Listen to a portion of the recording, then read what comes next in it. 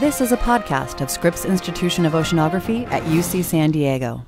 To learn more about how you can support Scripps, visit us online at scripps.ucsd.edu. So far, 2008 has shaped up to be one of California's driest years on record. Even when the current drought cycle shifts, climate change and a growing population suggest that the way we use water will never be the same as it was. The oceans are the ultimate reservoir of water for society and could provide a solution to a growing crisis. Only in the last 50 years has the removal of salt from seawater become an economically feasible means of providing drinking water to large populations. Scripps has played a role in the development of several methods, including the one considered the most commercially viable reverse osmosis. Today, more than 10,000 desalination plants bring water to countries in the Middle East, the Far East, and Europe. But before California turns to the oceans for help, the state is creating standards that balance human needs with those of the environment. Questions need to be addressed before the ocean's faucet can be turned on. What do we do with the extremely salty water left over after desalination? How much damage does the intake of large amounts of seawater do to marine life? How much of a carbon footprint does desalination require? Two Scripps oceanography scientists, Scott Jenkins and Jeff Graham, are consultants to Southern California desalination projects, including one located 20 miles north of San Diego, proposed by the firm Poseidon Resources. The researchers are lending their expertise in coastal oceanography and marine biology to Poseidon as well as public agencies interested in the technology that could rescue California and the thirsty West.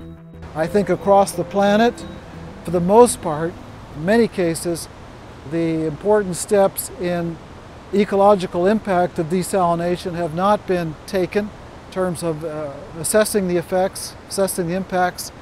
And when you get, begin to talk about some of these very large plants like presently operate in Saudi Arabia or that could potentially operate along the coast of California and that now operate in Japan and other places, uh, the way and the manner in which the ecological effects of the discharge are dealt with has to be done in a way that conserves the environment. This is what the responsibility of scientists are, uh, is with respect to consulting on these issues. I in particular work on uh, several aspects. Uh, first of all, I've done hydrodynamic modeling of the dispersion of the brine plumes that are discharged from proposed desalination projects. And I've determined the trajectory that these plumes will take uh, when they're discharged into the nearshore waters and the levels of uh, hypersalinity that may occur in these plumes. And uh, I pass that result off to my colleague, Dr. Jeff Graham, who determines their potential impacts on marine organisms. The important point to start with is that the salinity of the ocean in the area around the Encina power plant and all through the southern part of the California current is 33.5 parts per thousand. We know that from measurements on the pier that go back almost 100 years. So we know this pretty well. And uh, what we also know is that if we were to see a, a power plant develop a desalination facility within it, which is what Poseidon is proposing, then there would be a doubling of concentration. You do the algebra quickly and you end up with one part of 60, 65 parts per thousand and dilute that by X number of parts of 33.5 parts per thousand, you can quickly come up with a ratio, usually about 5, where you can dilute the discharge salinity from 66 down to about 40. And if it gets down to 40, this is about the range where we can begin to say that, well, if the water enters at 40 parts per thousand and it's quickly diluted by ocean currents, then it's going to be down to within a very tolerable range by the organisms that experience it within a few, within a few uh, hundred feet.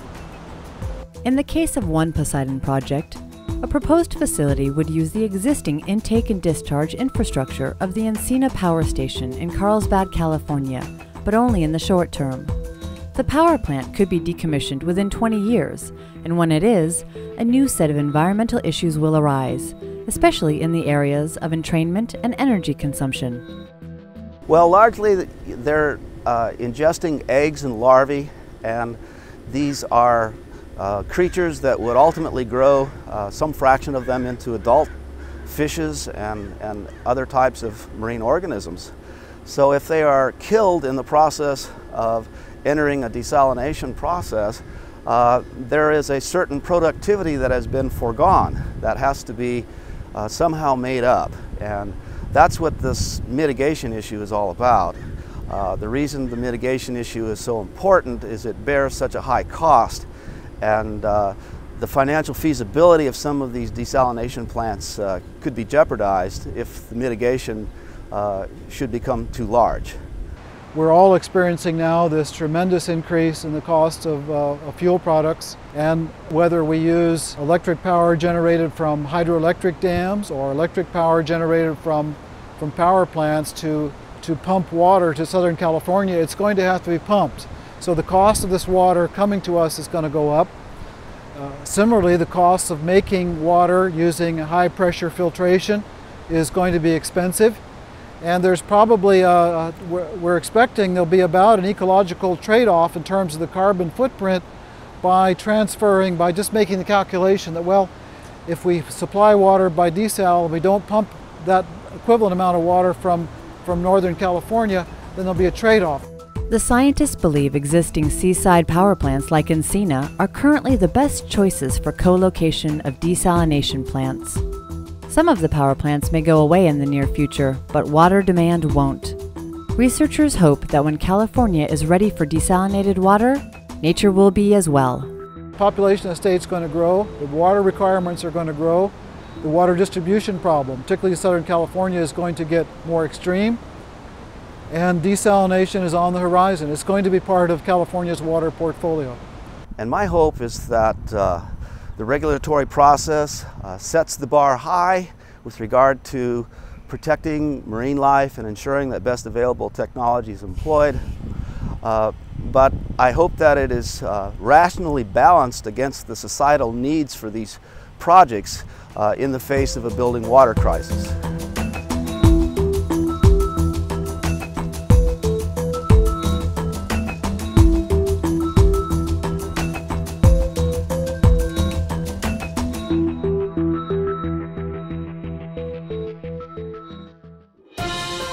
This has been a presentation of Scripps Institution of Oceanography at UC San Diego.